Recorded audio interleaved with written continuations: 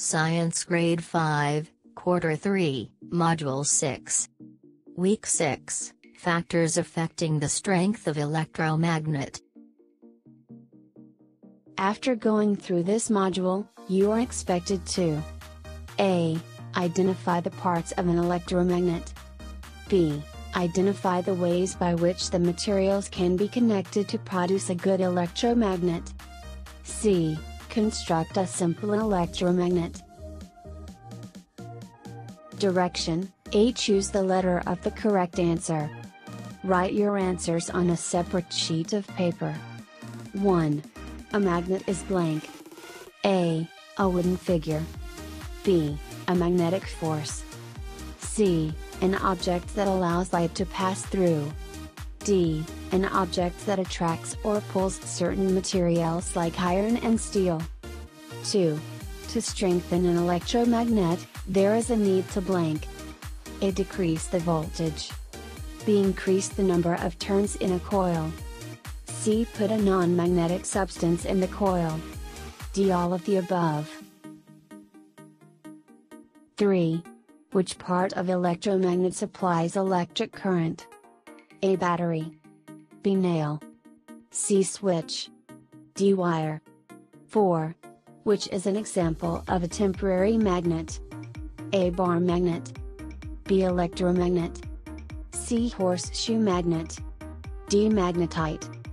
5. Which from the following materials can be used as a core in making an electromagnet? A. Plastic ruler. B. Plastic straw. C. Screwdriver. D. Wood stick. Direction B. Write yes if the statement is correct or no if not. Write your answers on a separate sheet of paper. 1. The strength of an electromagnet cannot be increased. 2.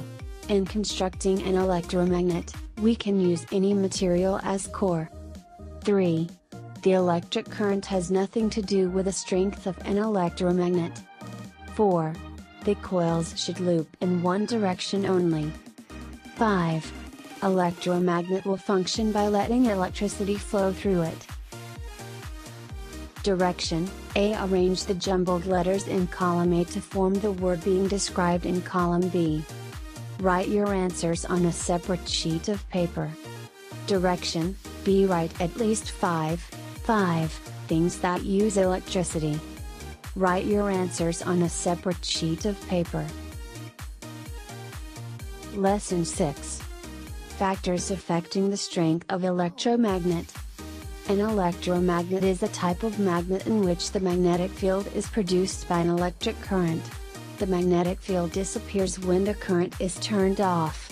Electromagnets usually consist of a large number of closely spaced turns of wire that create the magnetic field. You have just made a magnet by using electricity. When you disconnected one end of the wire from the battery, the current did not flow anymore. The nail could no longer attract the pins. Its magnetic force was gone. An electromagnet can have magnetic force only when electric current is flowing through it.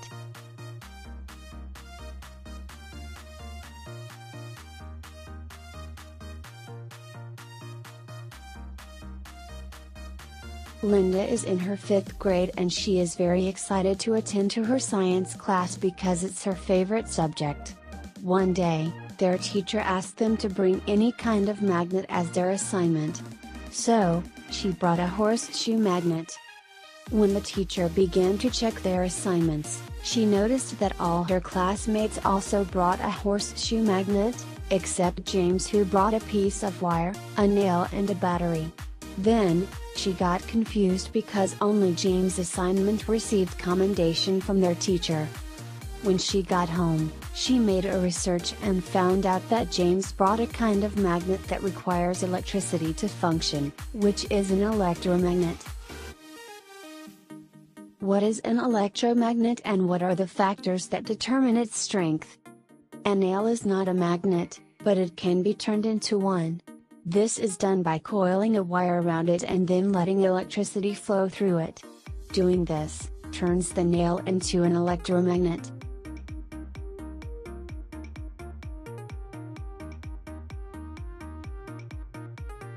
A simple electromagnet can be made using a dry cell, battery, a nail and a piece of wire. It is a temporary magnet that uses electricity to function. It attracts like a real magnet. It can attract materials made of metals like pins and thumbtacks. But unlike ordinary magnets, it can be turned on and off. The iron nail serves as the core and acts as magnet while electricity is flowing through the coil of wire. When electricity stops flowing through the coil to the nail, it can no longer attract metals. Electromagnets are used in doorbells, buzzers, televisions, and telephones. A crane that lifts heavy objects also uses an electromagnet. The strength of an electromagnet is determined by the following factors. Material used as core. The core is the part of the electromagnet that receives electricity. In the above example, the nail acts as the core. Iron is the best core material. The size of the core also matters. The greater the size of the iron core, the stronger magnetism an electromagnet has number and direction of coils. An increase in the number of coils increases the strength of an electromagnet. Each turn of the wire adds more force to the electromagnet.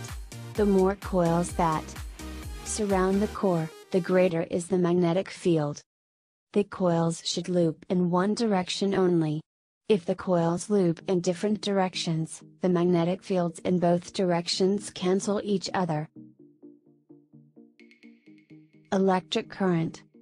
Another factor that contributes to the strength of an electromagnet is the amount of electric current supplied.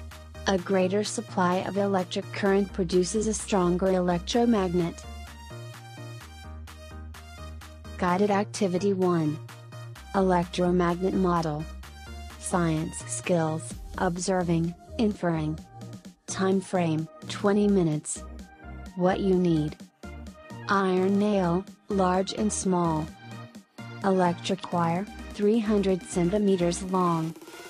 2 batteries, 3 volts. Thumbtacks. Pins. Screwdriver. Do these. Note, be careful in handling all the materials. 1. Make an electromagnet by winding the electrical wire around the large nail. 2. Connect both ends of the wire to a dry cell. 3.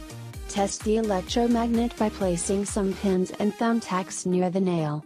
Does the nail attract the pins and thumbtacks? 4. Now, wind more coils of wire to the nail. Which setup attract more metals? 5. Add more dry cells to the electromagnet. Make sure you connect the dry cells properly. Which setup attracts more metals? 6. Change the iron nail into a smaller one. Which setup attracts more metals? Direction Answer these, write your answers on a separate sheet of paper. How do the following factors affect the strength of an electromagnet? A. Number of coils. B. Number of dry cells used. C. Size of nails. Guided Activity 2. Direction Write the word true if the statement is correct or false if it is incorrect. Write your answers on a separate sheet of paper. 1. Electromagnet is a permanent magnet that can attract any metal or magnetic material. 2. The number of coils of wire affects the magnetism of an electromagnet. More coils of wire means less magnetism. 3. An electromagnet can be made stronger by adding more coils of wire. 4. When electricity stops flowing through a coil of wire, the nail continues attracting any metal or magnetic material. 5.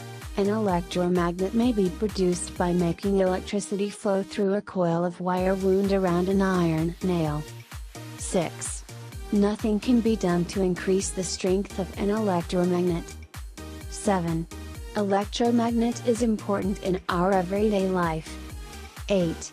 By using smaller core, We can increase the strength of an electromagnet. 9.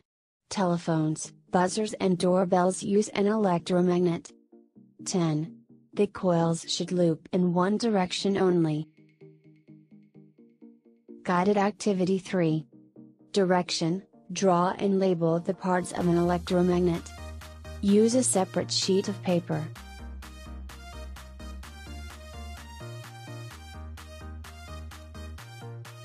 Guided Activity 4. Direction List 5 appliances, devices in your home that use electromagnet. Write your answers on a separate sheet of paper. Direction Complete the statement below by choosing the correct answers from the given choices in the box. Write your answers on a separate sheet of paper.